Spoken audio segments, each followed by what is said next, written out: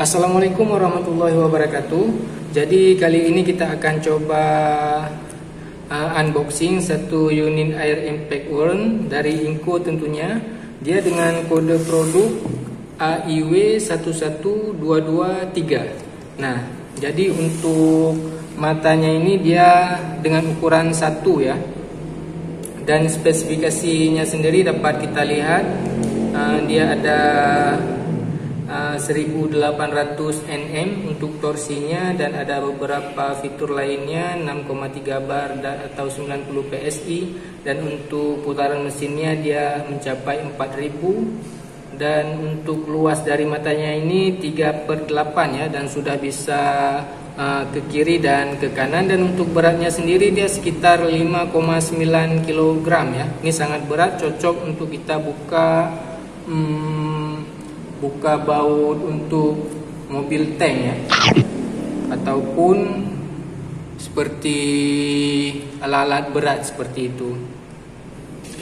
Nah, baik untuk itu langsung saja kita buka untuk air impact ore-nya. Dan seperti biasa kita diberikan satu piece uh, manual book seperti ini tampilannya. Dan ini instrumen bagian dalam uh, mesin air impact-nya dan selanjutnya ini untuk unitnya 5,9 kg nah, sangat berat ya. Uh, aksesoris lainnya sebentar saya coba tutup untuk boxnya terlebih dahulu. Dan untuk aksesoris include-nya di sini kita diberikan satu piece untuk handle-nya ini untuk handle bisa kita gunakan pada bagian kiri ataupun bagian kanan atas ataupun bawah untuk unitnya. Dan selanjutnya kita diberikan untuk uh, meletakkan handle-nya. Ini penyambung atau penyangga pada bagian handle.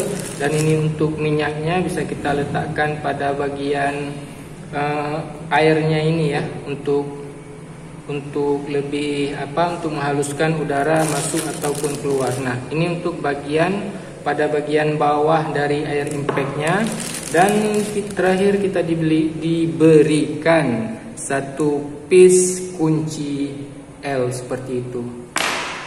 Nah, dan untuk spesifikasinya sama seperti di luar box tadi dan ini ada tulisan logo Inco-nya dan sudah tergolong dalam kategori produk yang industrial. Dan ini untuk tombol forward and reverse-nya.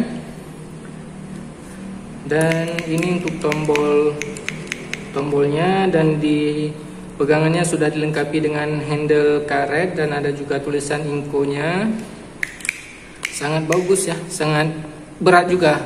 Kita letakkan saja.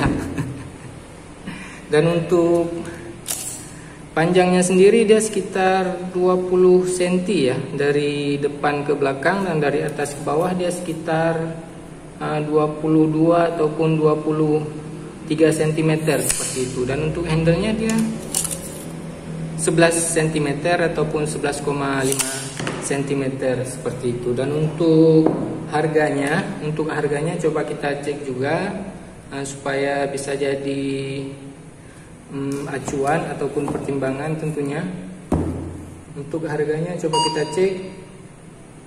Tunggu sebentar dia lagi berputar-putar. Nah untuk harganya sendiri dia di kisaran harga 1.897.200 uh, rupiah. Terbilang agak tinggi ya tetapi sudah sesuai dengan uh, kualitas produknya karena bisa membuka ban ataupun membuka uh, roda ataupun rantai tank seperti itu. Dan tampilannya juga tidak berbeda tipis dengan tipe yang satu lagi, hanya berbeda dari warnanya seperti itu. Nah, baik mungkin sampai di sini dulu untuk kita lihat-lihat dari air impact one yang uh, dengan ukuran satunya selebihnya saya ucapkan terima kasih banyak dan saya akhiri. Wassalamualaikum warahmatullahi wabarakatuh.